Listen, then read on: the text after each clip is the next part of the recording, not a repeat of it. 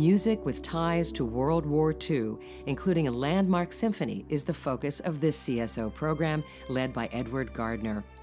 In 1943, as Great Britain endured the Blitz, Ralph Vaughan Williams produced his Fifth Symphony.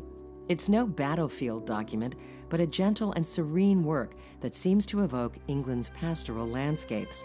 It's also a richly detailed score that avoids easy description. Vaughan Williams began the symphony in 1938 after meeting Ursula Wood, his eventual second wife.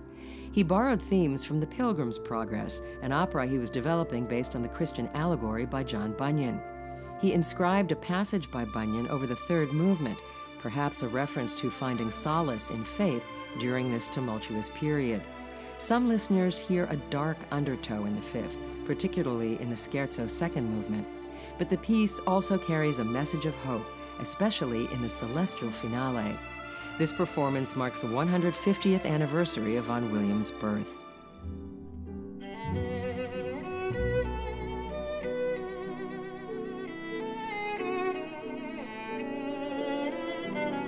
Bela Bartok completed his second violin concerto in 1938 as fascism was spreading throughout Europe.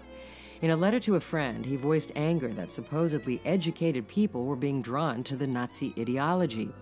While deciding whether to leave Europe for good, Bartok accepted this commission from the violinist Zoltan Szekely. The concerto highlights an instrument that is central to Hungarian folk music.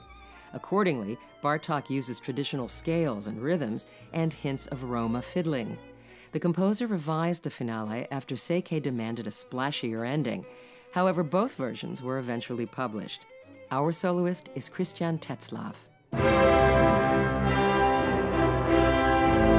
The program begins with the prelude to Act Three of Wagner's Die Meistersinger von Nuremberg. The opera is a comedy about a song competition staged by a guild of master singers in 16th century Nuremberg. The winner gets to marry a beautiful young woman named Eva, in a final monologue, the cobbler and poet Hans Sachs issues a dark warning to the populace to keep, quote, holy German art free from foreign influences.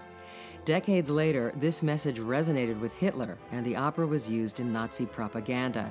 But Meistersinger has been taken up by modern directors who have worked to decouple it from its thorny past and highlight its many strengths its humor, warmth, and musical radiance.